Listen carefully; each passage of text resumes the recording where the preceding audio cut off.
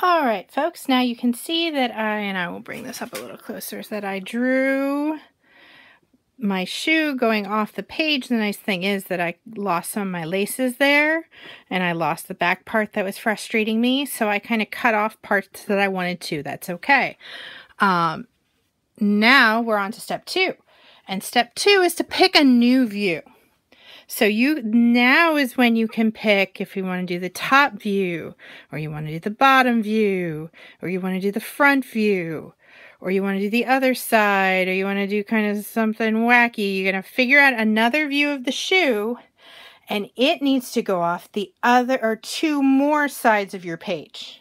It does not necessarily have to go off the other two. So if I chose, eh, I think I'm going to choose top view. Top view is a little tricky but I'm going to try it. Um, if I do the top view, I can make it go the same kind of the same way that that one did. I can make it go like that. Or I could make it go like this and have part of it cut off of the shoe here.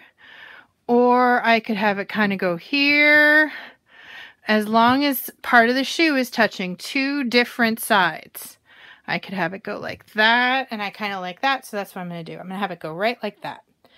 So I'm going to set it up just like I did before, on my paper in about the same spot so I can see looking one to one. So I'm looking at here and I'm moving it over here and I am going to draw my shoe in this space. I'm not going to make you watch me do it in regular time. So now you get to watch me go